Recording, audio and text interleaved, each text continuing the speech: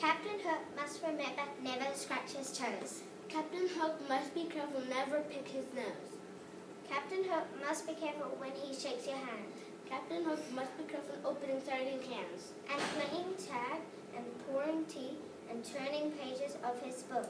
Lots of folks I'm glad I'm a, but, but mostly Captain Hook.